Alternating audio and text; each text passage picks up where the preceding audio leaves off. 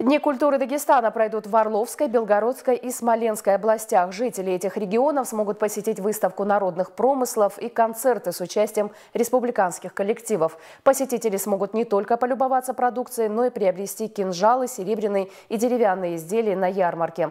Также в рамках празднования в Орле пройдет ежегодный чемпионат по мини-футболу памяти дважды Героя Советского Союза Амитхана Султана.